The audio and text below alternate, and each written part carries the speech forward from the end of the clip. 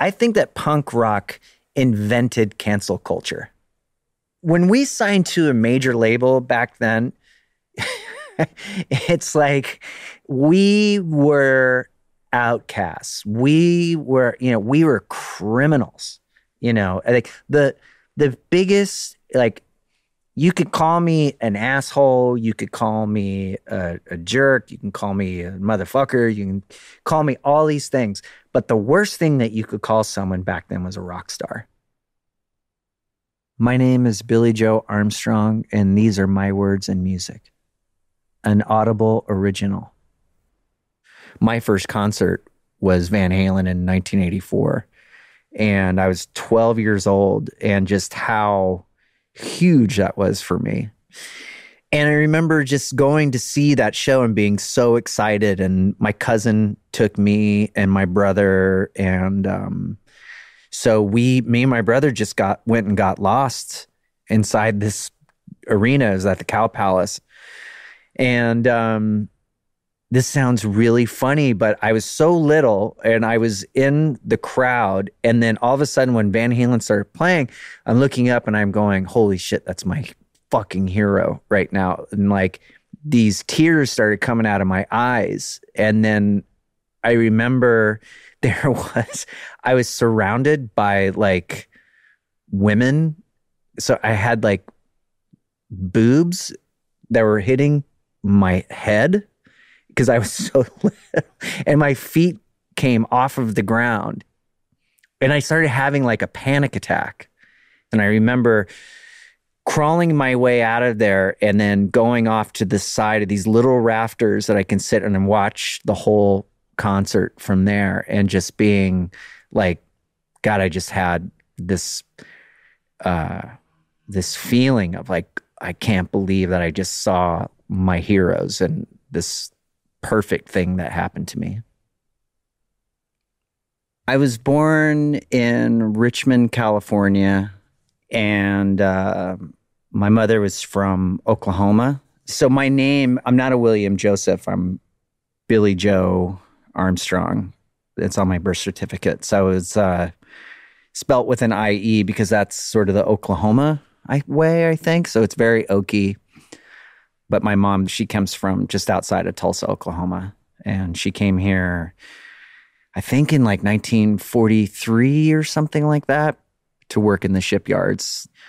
You know, my mom's one of 12 kids and I'm one of six. So it's just like a massive family. I remember my mother listening to Hank Williams and Dolly Parton, and she played a lot of country music in the radio.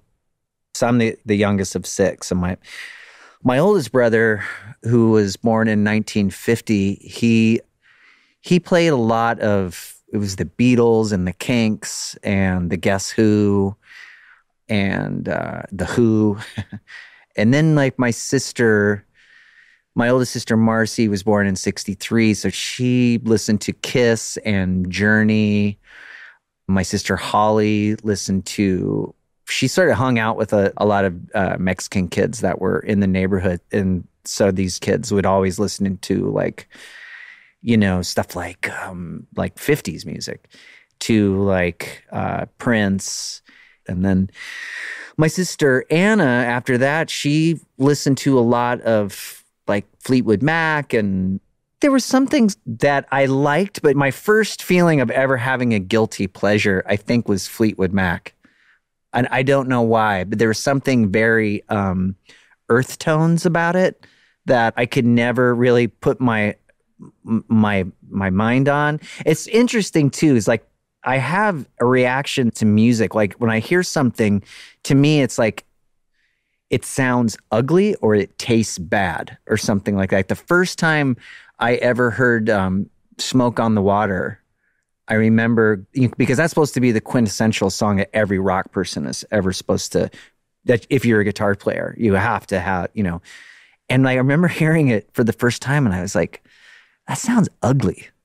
Like this doesn't sound right to me." I, I don't know what it was about it, but um, so you know, I moved on to Chuck Berry or something, and then um, my older my brother he listened to a lot of like Led Zeppelin and you know Def Leppard and a little bit of Rolling Stones. So it was all over the place.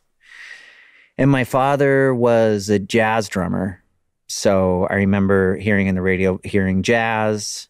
So I, I had a lot of, uh, there was a, a lot of music going on in my house. My father was a Safeway truck driver and he was in the union. He was a Teamster. At the time, they were able to, with, you know, five kids living at home, they could afford to buy a house in in a small suburb. And right now in California, that is totally impossible.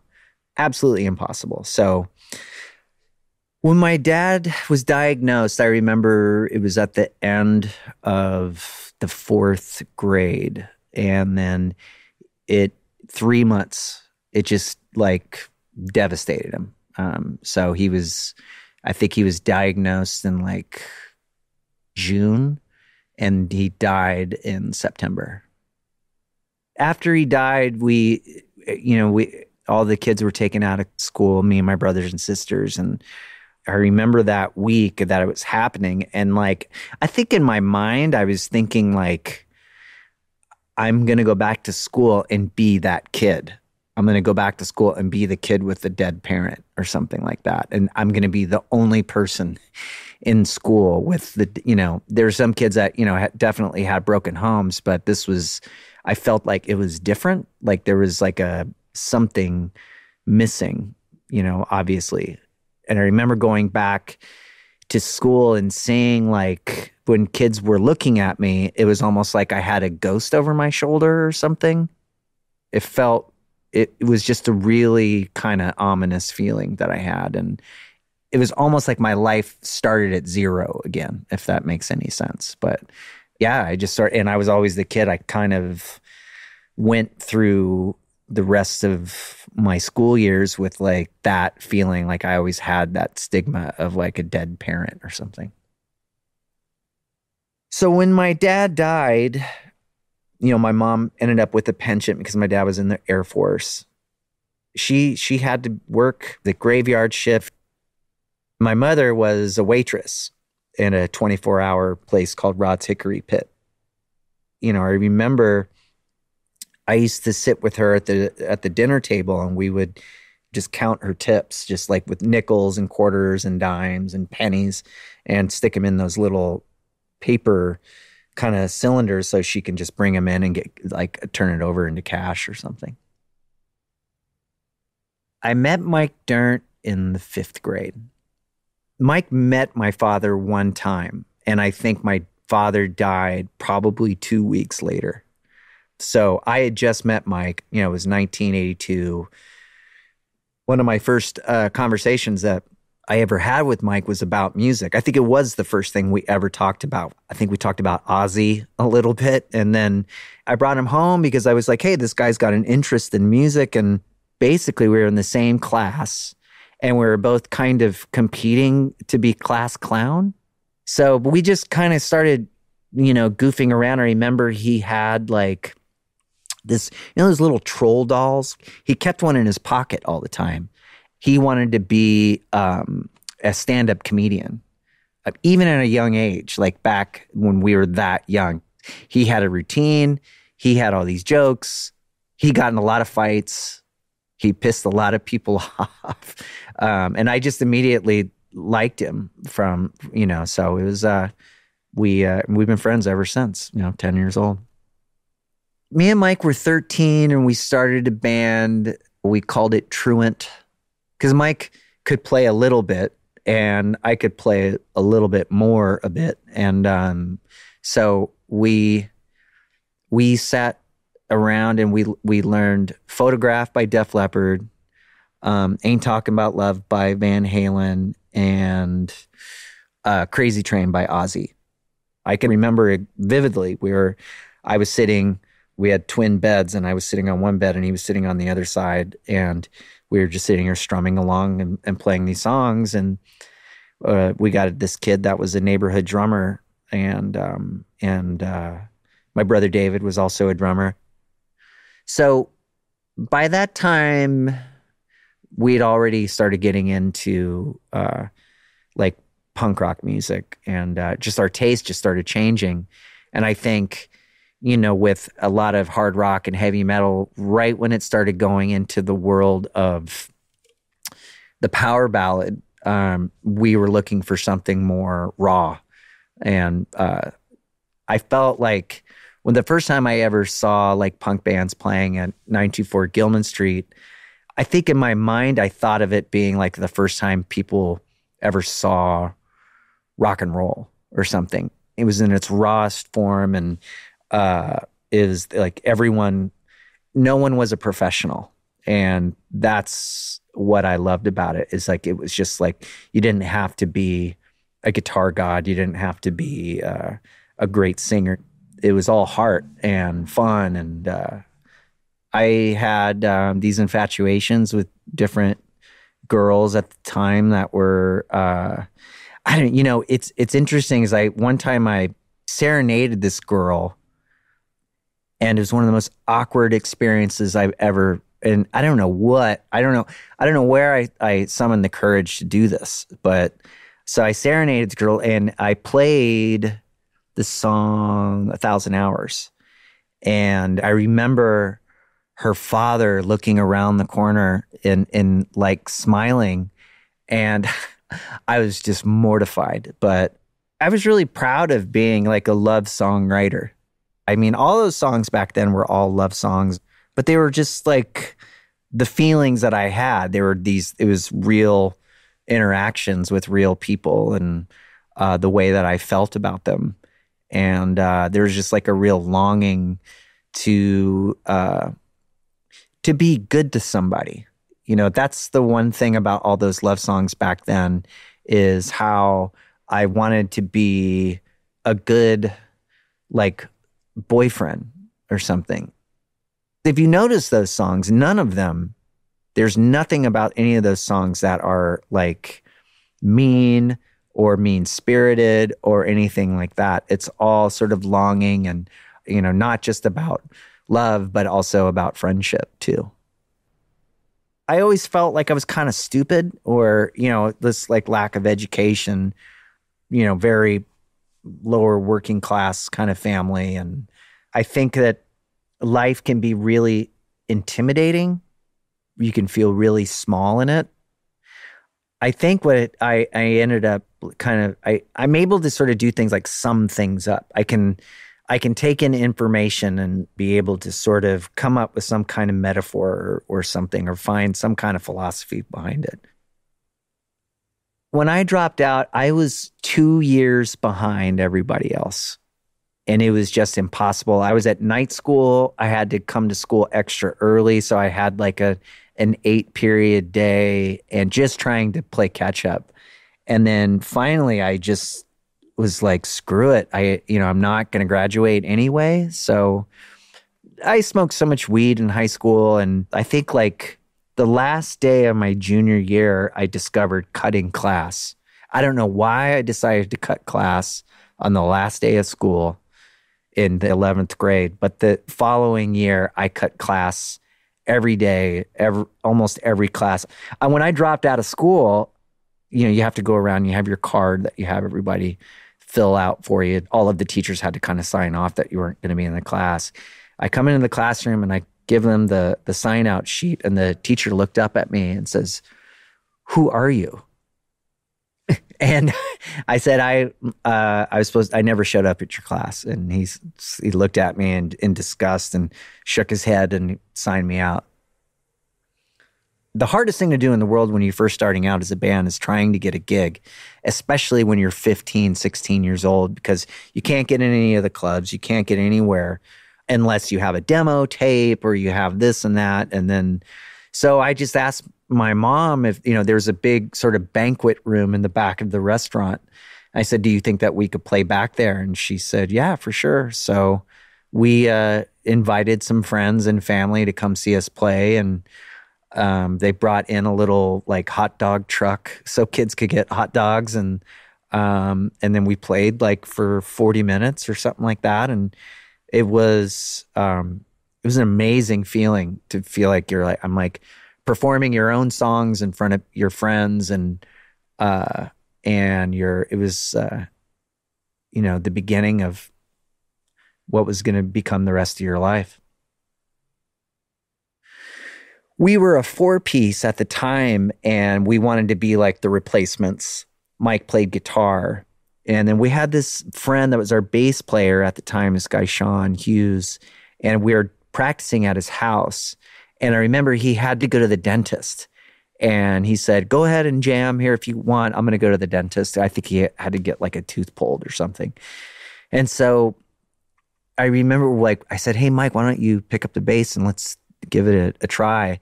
And Mike just blasted through all the bass parts perfectly, note for note, doing things that like the other guy just uh, could not do. And then we stopped playing and then and and mike had that look in his face. I remember we go well looks like we're a three piece and i said well instead of the replacements maybe we could be Hüsker Dü like that. It was uh it was it was pretty funny. My oldest brother alan when mike told him he's like yeah i think i'm not going to play guitar i'm going to play bass and my brother alan told him he goes well now you get to be lead bass player. And i think that always stuck with mike. That's sort of the way that he plays is like he he plays like he's uh, almost like a doo-wop singer or something like playing the singing the low the low bass notes or something. But he has these incredible runs that he can do. A friend of ours had this kid. His name is his name is robert but he went by the name of eggplant still does and um, he had a backyard party in um, I think 1988, and he asked us if we wanted to play. So we're like, oh, holy shit, we you know, Eggplant's gonna have a backyard party and we're gonna play. It's gonna be great. So he had a bunch of a bunch of bands that were playing, and then and no one had heard of us at all. Like it was basically kind of our first show, really, um, in front of people we we had no idea who they were. They were actually like uh, real kind of East Bay punk rockers that were there. And I remember we played with this kid that was our that was just kind of sitting in, filling in at the time. His kid, his name was Raj Punjabi.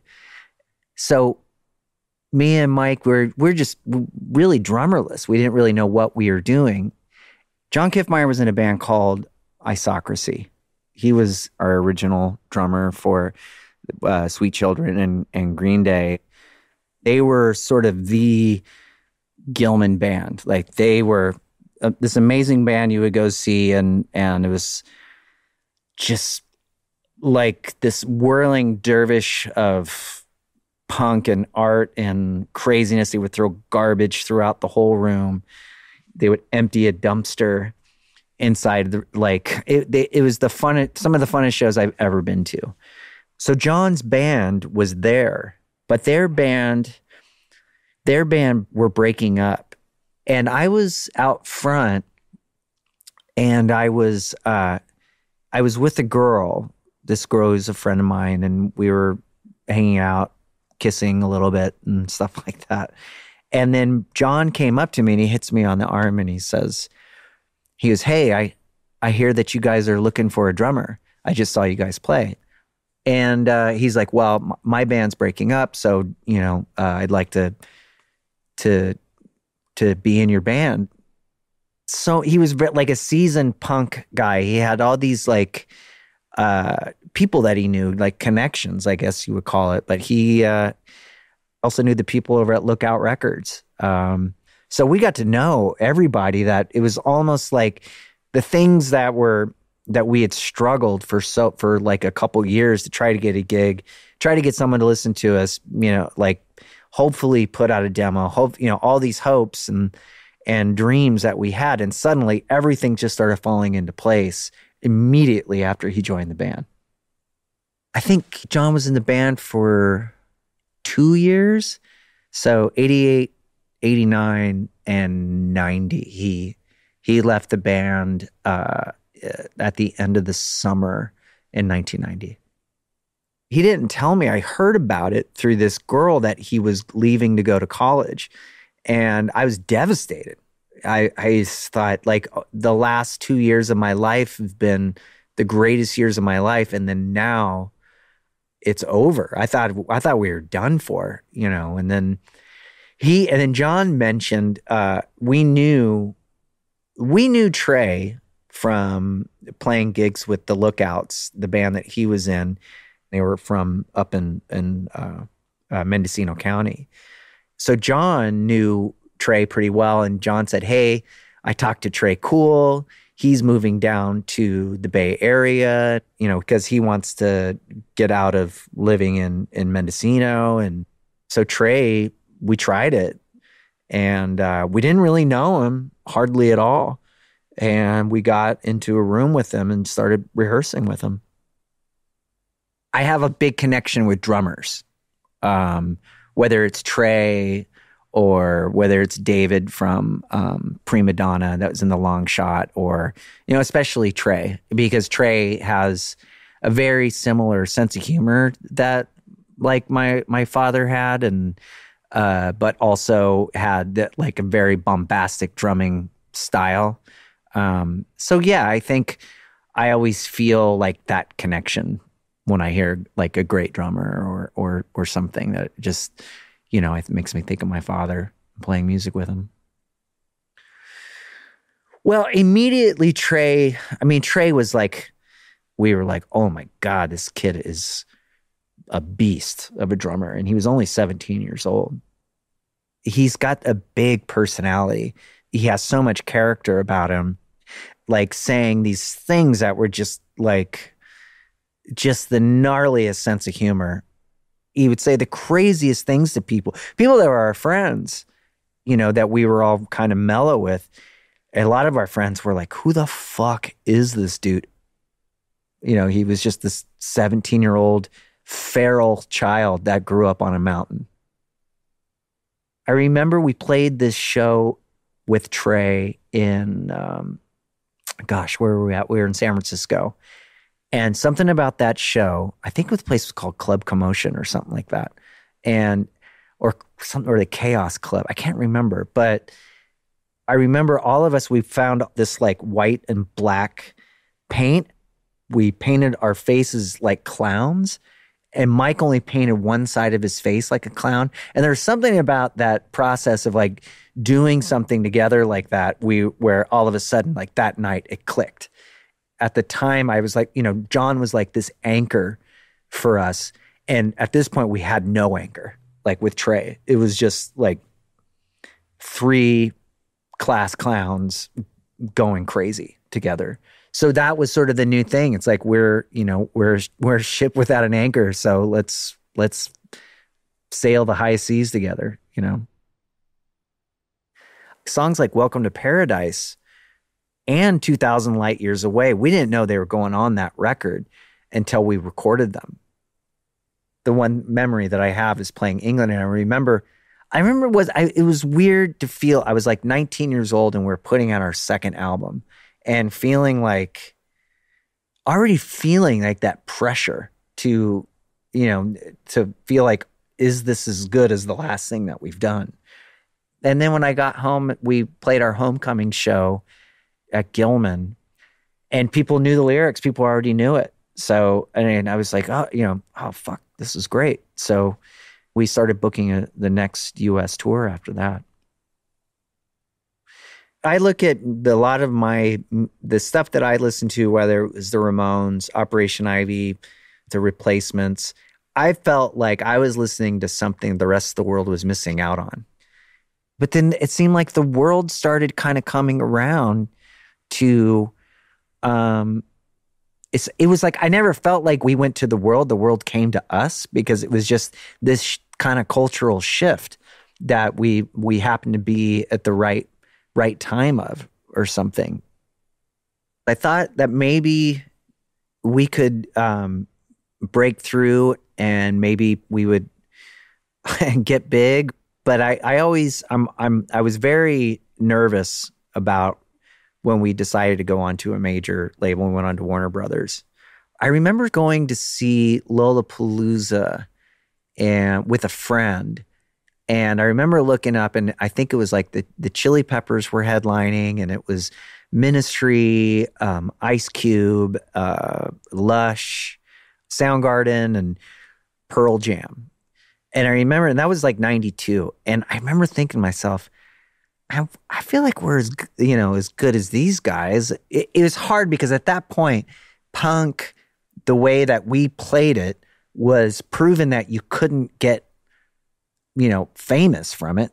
We saw of our heroes try, you know, as far as like Hüsker and and um, the replacements and um, some others, and it would, you know, it became like a college rock sort of level, or the biggest bands out there at the time, like Fugazi and Bad Religion, as far as punk rock. And that's sort of like that's what we thought that we would be almost like the Amish or something, where we would, you know, we would have, uh, we would play in this sort of scene of people and everything be on a DIY level.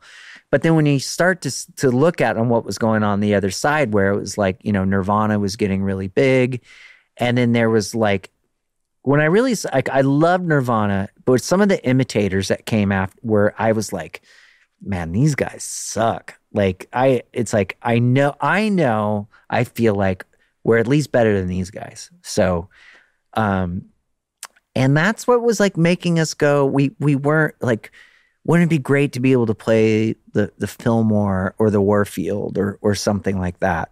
And I think with at the label that we were at, we we sort of lost confidence that we could bring it to another level. So, you know, we were started thinking about like, well, what label could we get on? And and I think even like Epitaph hit us up to to be on. And I remember just thinking, if we're gonna do this, let's just let's just roll the dice and and and see what happens. It's it's there's an opportunity right now to see if like we can kind of break out and we might as well see what we're made of. There was a guy that came to our show, this guy Dave, and he was he was a uh, part of a management office paralegal place and came to our show. We played it at the Berkeley Square, and he said, um, he goes, "Hey, if you guys are looking to get on a label, let me know. And he gave us a card. And so we're, I think we sat and we had this card and we, I think we, the three of us stared at it for like two weeks straight or something. it was just like this thing. It was like kind of felt like it was like on fire, you know. So that's when we we met up with these these guys and um and then we we made a four song demo and and then uh, we started getting courted by labels when we signed to a major label back then, that was sort of like I think that punk rock invented cancel culture. it's like we were outcasts. We were, you know, we were criminals. You know, like the the biggest like you could call me an asshole. You could call me a, a, jerk. You can call me a motherfucker. You can call me all these things. But the worst thing that you could call someone back then was a rock star, like fucking Jon Bon Jovi or something like that. And it's like, no offense to him, but that was the sort of the antithesis of where we came from. So for for us, it was um, it was like is devastating, devastating. I still feel it to this day. We get people that would wanted to fight us, you know, literally getting in fistfights with people and uh, being banned from certain clubs, getting like 86 from from Gilman Street, kind of feeling like a fucking pariah or something within our own social group. It was pretty traumatic because you know I'm a pretty pretty sensitive person um, when it comes to my relationships with people and and some of it I probably made up in my head or or whatever, but it was uh, yeah, it was it was it was pretty dark around living around the Bay Area at that time. I've been having panic attacks um, since I was about 10 years old, which I guess kind of coincides with a lot of trauma that was going on in my life at that time. But yeah, I was uh, definitely uh, uh, well versed on um, anxiety by the time I was uh, 18, 19, 20 years old. I think that panic attacks for me were more, they would happen more at night when I was alone. It was it didn't really have anything to do with playing live. That came later when the crowds got bigger. So I'd start having these like episodes uh, when I was uh, when I was a kid, up, you know, and you know, I, I feel like the older I've gotten, they've gone away a lot more. But that's you know, thank God for the pharmacy. When I was a kid, you didn't say anything about it to anybody. You didn't want. Uh, I think it was more. It wasn't that you wanted to feel like you're being macho about it or anything. It was more um, you didn't want anybody to think that you were losing your mind because I don't think back then people really knew um, knew as much about mental health as they do now.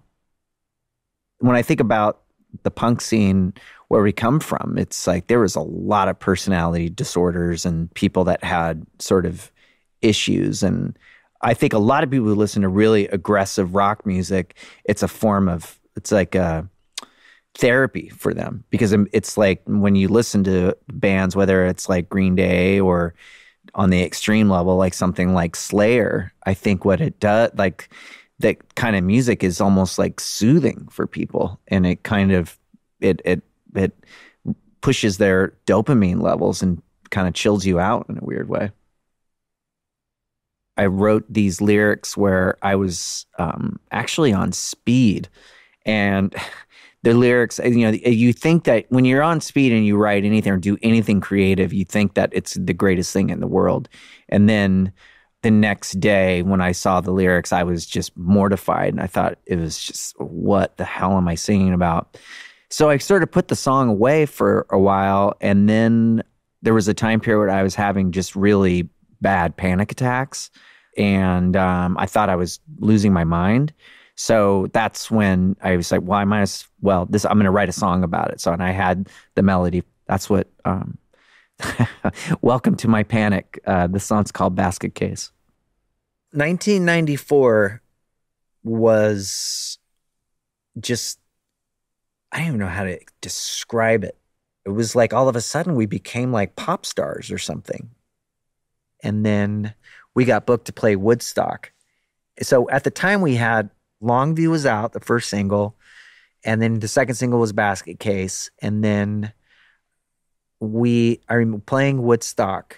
We are on stage, and I was like pretty amped to play, and like like this is going to be pretty awesome. I didn't know other way to, way to think. It was just kind of this crazy backstage atmosphere. It was like the first time I'd ever played a gigantic rock show. And then I remember feeling like oh, something's not right. This doesn't feel good. And so people started to throw mud. And then, like, it started getting in our guitar strings. And then we just started throwing it back. We were all covered in mud. You couldn't tell who was in the band. We were like sliding on our bellies, and, and the, the audience was on stage. And then Mike ended up getting tackled onto a monitor. And then I jumped on, or he, he got tackled by a security guard, busted his teeth, and uh, I think broke his elbow. It was a shit show. I remember we, like getting on top of the security guard, and there was this melee and this brawl that hap- like broke out on stage. And then after we grabbed a couple beers, and then we got on the helicopter, and I just remember feeling like I didn't know if like that was like the greatest or worst show I ever played in my life. So, but it was, I think it was both. What people saw that night on stage was basically what we would see every weekend at Gilman, but it was to 100 to 200 people. But this was to 200,000 people or something. And it was on TV, it was on live satellite TV and and then like the next day, it felt like everything changed after that. I think it was probably towards the end of the summer of 1994. And looking out into the crowd, it felt like, um, it felt like we were almost like a boy band. It was really exciting and it was uh, terrifying at the same time because I'm like, I don't want to be just a pop band or something like that. Or, you know, you, you always sort of worry about what, uh, you know where you come from, but people don't know where you come from at the same time. So it was, uh, it was re- like I said, it was really exciting, but um, kind of terrifying at the same time. I met Adrienne on our first Green Day tour. So that was in 1990. I met her at a basement show that we played in Dinkytown in Minneapolis. So we kind of became pen pals and just wrote letters back and forth and had this long distance sort of affair back and forth. It was like, is this going to happen? Is this not going to happen? And then I remember I I convinced her just just come move out to California because she was she was either thinking she wanted to move to California, or move to New York. So she came to California, and her parents did not know me. So she moved to California and basically we got married a month later. And this is right after Basket Case came out. I had this opportunity with this person that knew me from before and we were in love and um yeah, so it was like let's let's tie the knot. So we got married and it was like a kind of a BYOB kind of wedding. My friends were showing up with 40 ounces. It was amazing. It was uh, sort of this punk wedding. And then uh, we found out the day after the wedding that she was pregnant with Joey. And then I think a few days later, I went back out on tour when I was on Lollapalooza. So, yeah, and I got home from tour. and then uh, Adrienne, she had Joey in February of 95. I was like, well, we should buy a house. and, you know, and so we bought a small house in Berkeley and uh, make sure that we had a good car. When I look back on it now, is nothing felt like real life.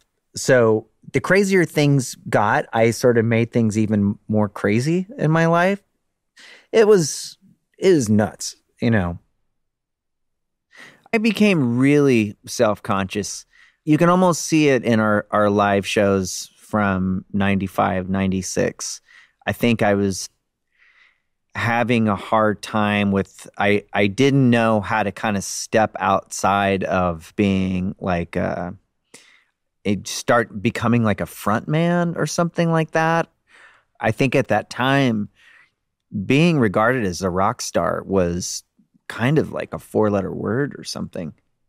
I I knew in the back of my mind what entertaining people was, but I rejected sort of being an entertainer. And the music just became harder and faster and and I I was sort of I felt like I needed to sort of hide behind guitars and I would think I was being unfair to myself to feel like it was okay to be a rock star as long as it's like on your terms and it's genuine and it's something that you feels authentically who you are. But I couldn't figure out where ambition and integrity sort of met. I just kind of like sort of became more internal on Nimrod. I think we were sort of experimenting with anything from like kind of swing sounding uh, and maybe a little bit of kind of ragtime and you know and more traditional Green Day punk rock and more really aggressive hardcore to acoustic ballads.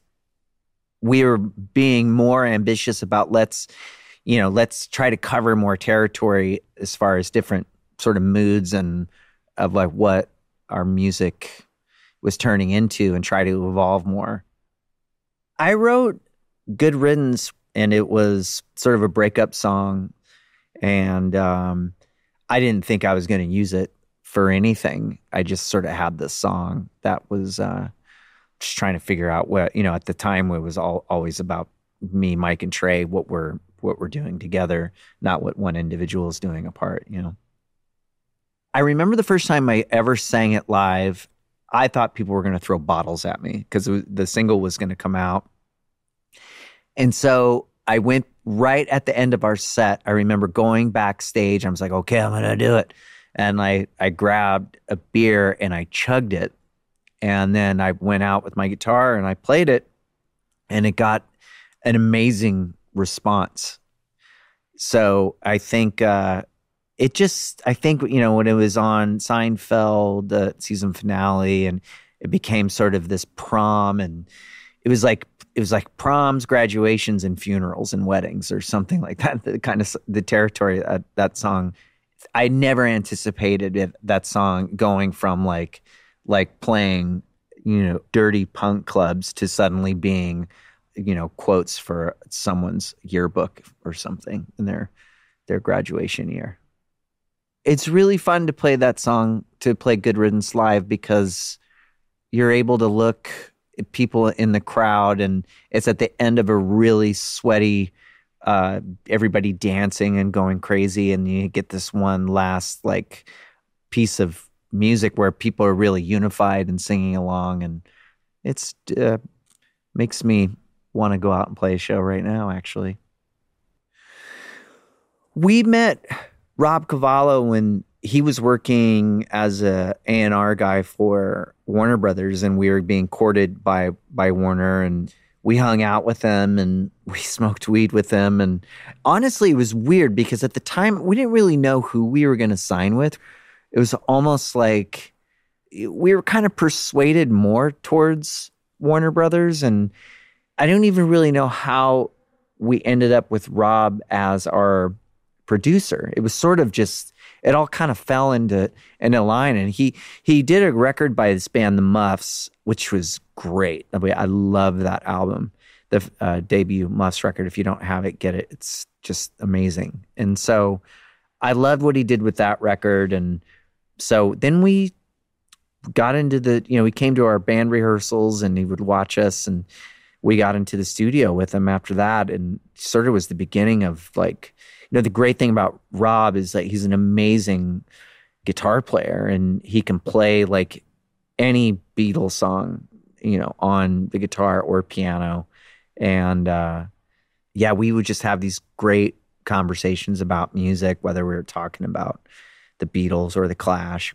I think where I remember listening to London Calling with him once, and he just kept talking about how this it has this sense of urgency, and um, that always kind of struck a chord with me. Rob was like he was really a good sort of coach.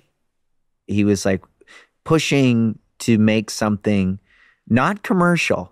He was pushing to make something great and really kind of spilling your guts I don't have good conversations with people when they talk about doing something commercial or something that is like Grammy worthy or something like that. It's got to come from the heart.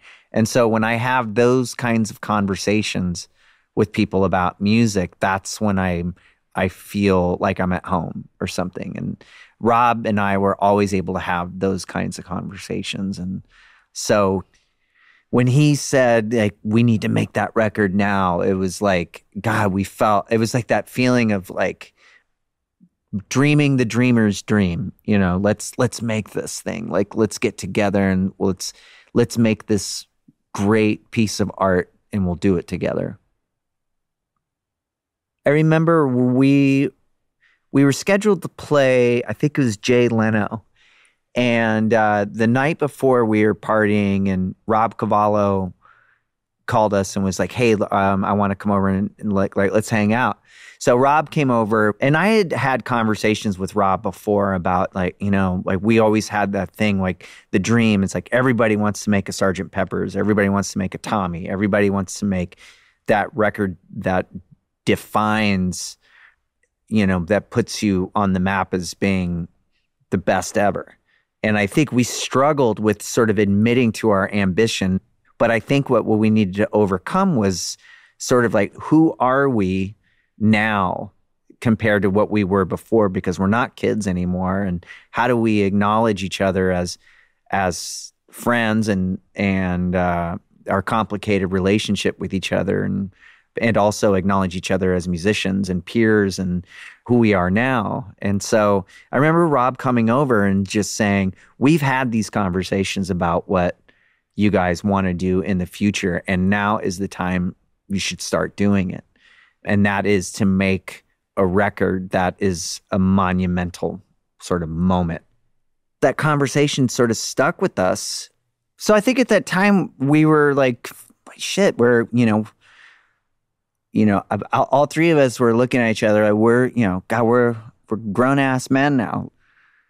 I think we really wanted to make a record that was like, you know, give us an A or give us an F. We don't we don't care, but we know we're going to make something that something that's really special and we're just going to go for it.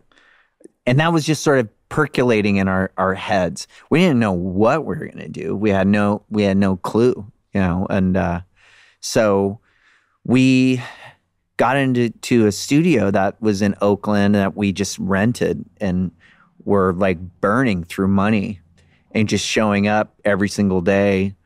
Just everybody was just sort of contributing and and and writing weird songs and um and then I remember that's when 9/11 happened. And I think that that just sort of really changed the picture for us altogether. I remember just kind of coming up with the riff for American Idiot. And I remember writing the song and uh, getting Tré in the studio and we we hashed it out and um, yeah, I looked over at Mike and Tré after and it was obvious what the song was about. And so I said, Are you guys cool with this? And they said, Absolutely.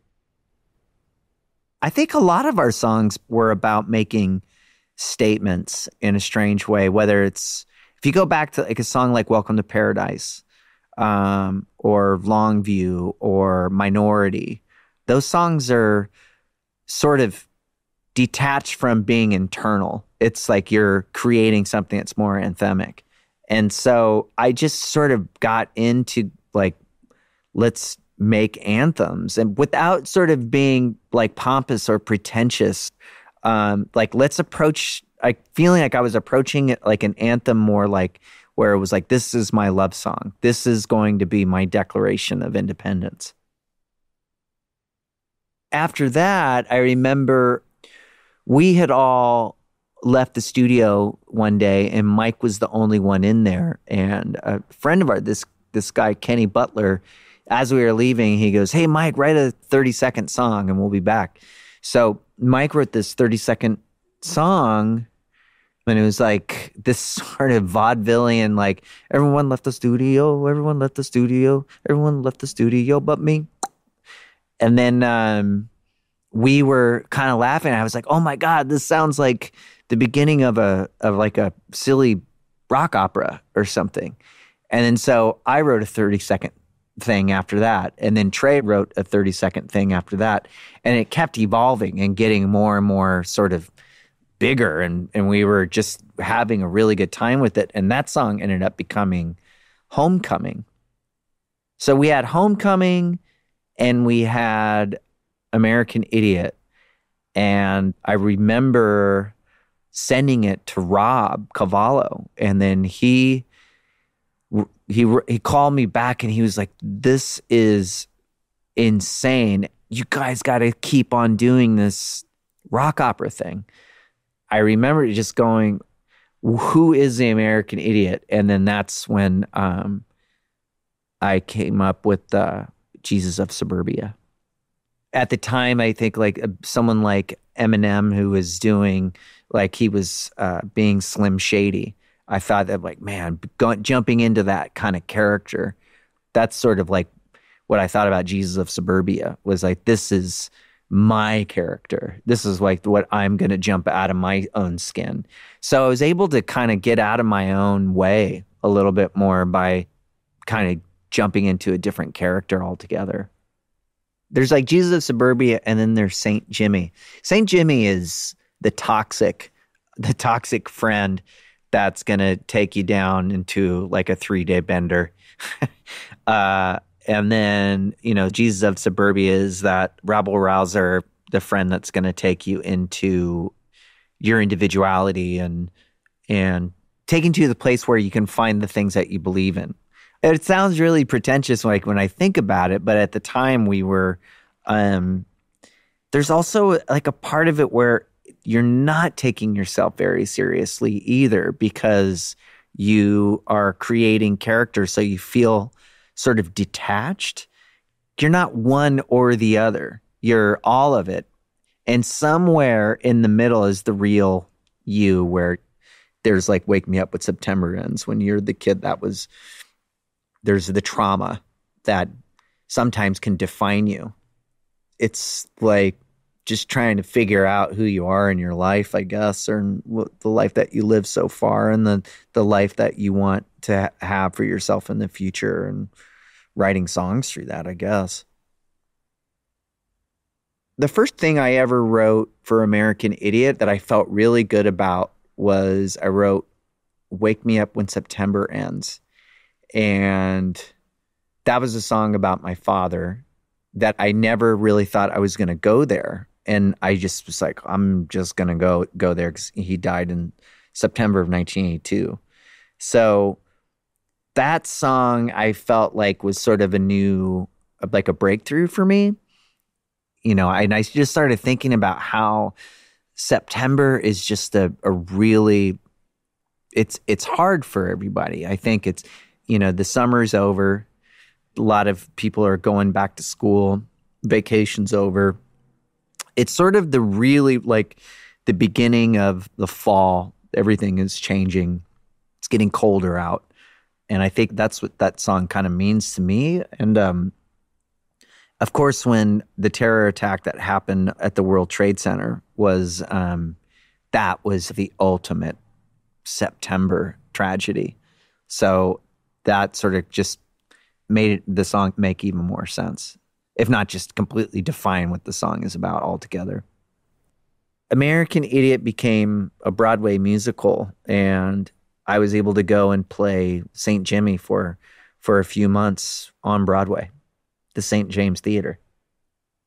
To be in the musical was um, it was amazing. It was like way like it came full circle with with the whole I can't even describe what the experience was like, but to to be able to get up and play the devil every night um, was it was really fun. It was also um, when you're doing that character every single day, you can definitely start to sort of feel like you're you're it's it, it becomes more and more real all, all the time because I think I remember I was just like sleeping in my clothes and not really bathing anymore and just kind of be, becoming that that guy which is you know it's everyone's got a self-destructive side of them uh, but like for me i'm pretty vulnerable to self-destruction. So um, but to get out and do it on on stage felt like lightning striking every single night. So i felt like when i did the character i can bring something that was probably felt pretty real to people in the audience because, well, shit, I wrote it. So after American Idiot, I remember there was that feeling of like, oh my God, what am I going to do now? But I remember like, looks like, like, let's just go back in and just kind of pick up where we left off and start from scratch and, you know, going into 21st century breakdown. And that became really uh, daunting and uh, really stressful, stressful for everybody. And it was making me crazy. I think that we just, we were trying to really do something that was diverse and really kind of outdo ourselves in in um, these arrangements and and where it was it was going. It was a hard album to make. One of the hardest things I've ever had to do. Um, and it was because I set the bar so high and I uh, and I did it to myself. There were there was no nobody was setting it for me. You know, you feel like you're sometimes you're writing records and and someone's got a gun to your head, but actually I'm the one that was holding the gun. So it was like uh yeah, we just were really trying to outdo ourselves more than, you know, it's like all of these kind of crazy concepts. And I remember at the time we wanted to make a record that was like, had this big animation sort of movie and and then it's like you you take your ambition so far and then you got to pull back of like okay what um okay where where are we at with this it's one of my favorite records for green day for sure but i have a hard time going back and listening to 21st century breakdown because it just reminds me of like all of the the hard work that went into it music became unfun for me at that time because I felt like I was putting so much pressure on myself. I mean, you to make so like when we did Uno Dos Tres, I mean, it's a triple album, you know, which is absurd. So it was like there was not a lot of self care going on, if, if any at all. And at the time, like my panic attacks were going up, up, up, up, up and turning into just like rage attacks. And I was, um, so I started getting really addicted to like uh, Xanax and Klonopin and um, this stuff, this like, in, and I was mixing it with alcohol. Um, and uh, and trying to stay away from alcohol at the same time, and I was just really mixed up, and uh, and I was just fucked up um, just on pharmaceuticals and and uh, booze. And so I remember the last thing I remember was trying to, you know, iHeartRadio, I was trying to come up with a set list.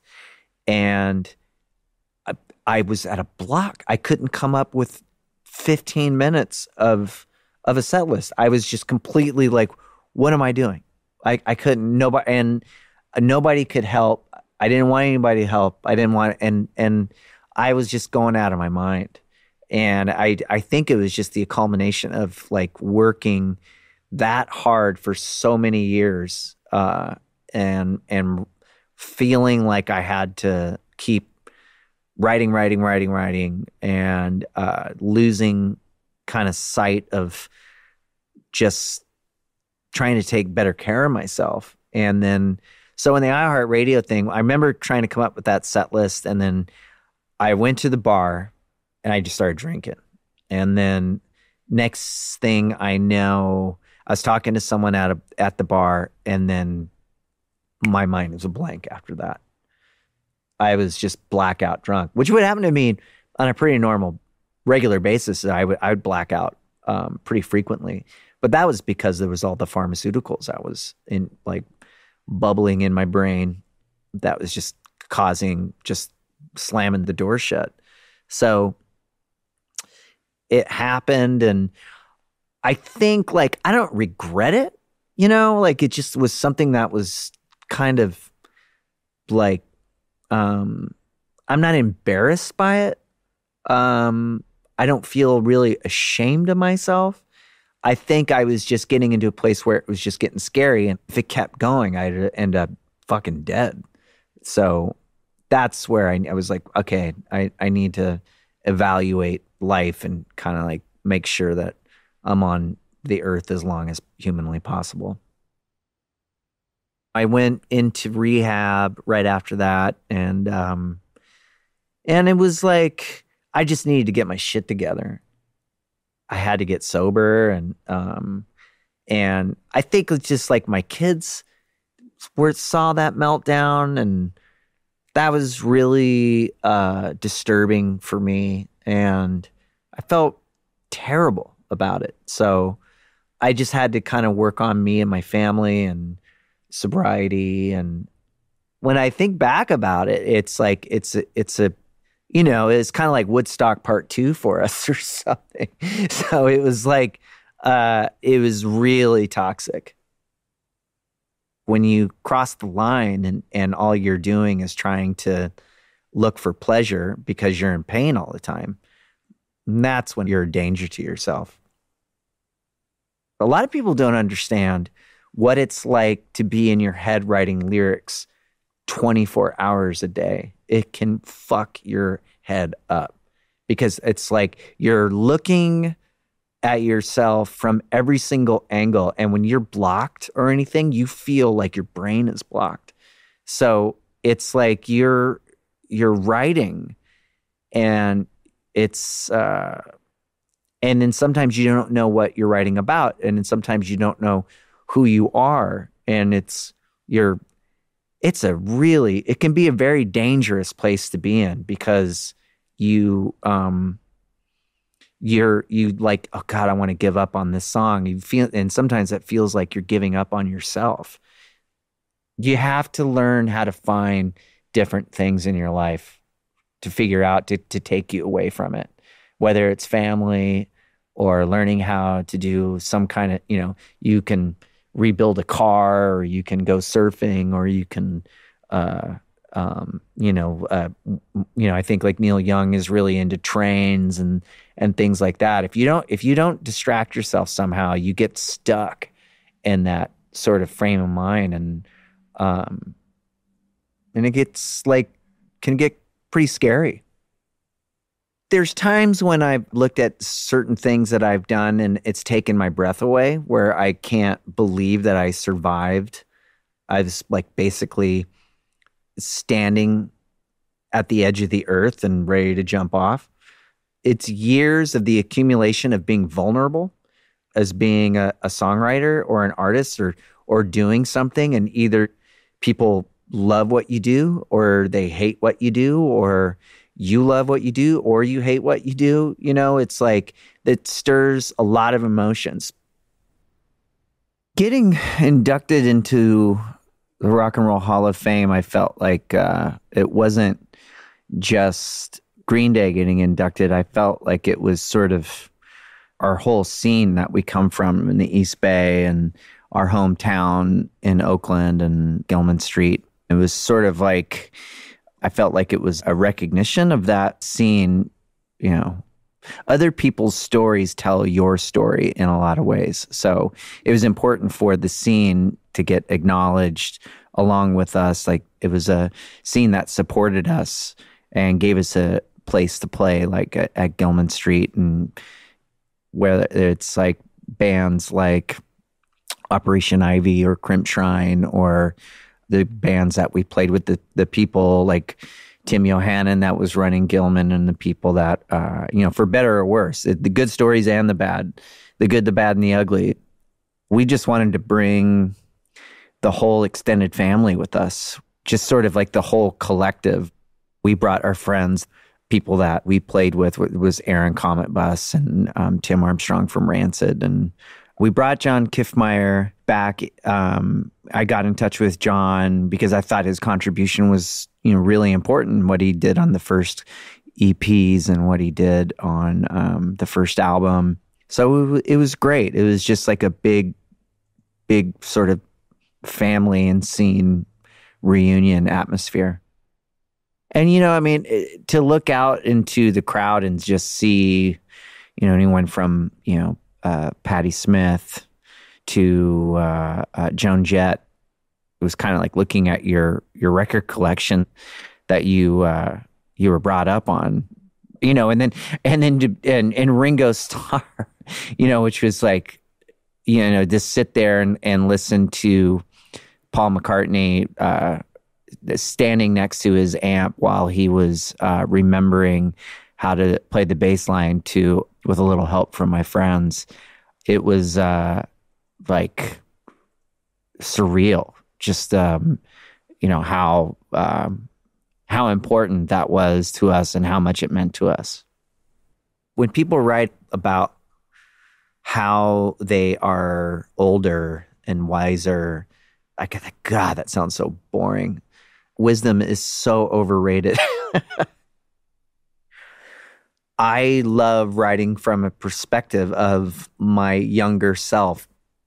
It's just honest emotion. It goes back to the songs that I wrote about girls and lost love and, and things like that. You have to be in that place of, um, gosh, almost naivete.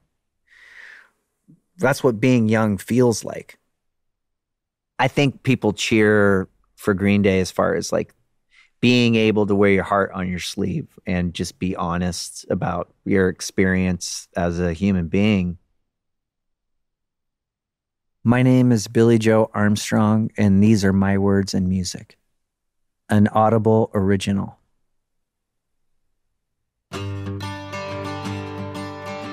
Billie Joe Armstrong, Words and Music was produced for Audible by Gunpowder and Sky. Executive produced by Van Toffler. Narrated and performed by Billie Joe Armstrong. Produced by Alex Coletti and Bill Flanagan. Co produced by Jillian Appleby. Line produced by Allison Reutinger. Supervising producer Barry Barclay. Show mixed by Christopher Cook. Music mixed by Chris Dugan. Business and Legal Affairs by Luke Marchetti. Rights and Clearances by Abby Kendi. Production Finance by Jacqueline Soletsky. For Audible, Executive Producer Preston Copley. Music Content Supervisor Jeff Dudzik. Content Acquisition and Development Peter Myscheid. Creative Development and Production Brittany McCombs and Carson Donnelly. Production Counsel John Curland. Special thanks to Billie Joe Armstrong, Scott Nagelberg, Jonathan Daniel, Jenna Hudson, Allison Weber, Carrie Disney, Alexis Jalad, Samantha Alicia, Michelle Postel, and Elliot Wilson. Copyright 2021 Salsina LLC. Sound recording copyright 2021 by Audible Originals LLC.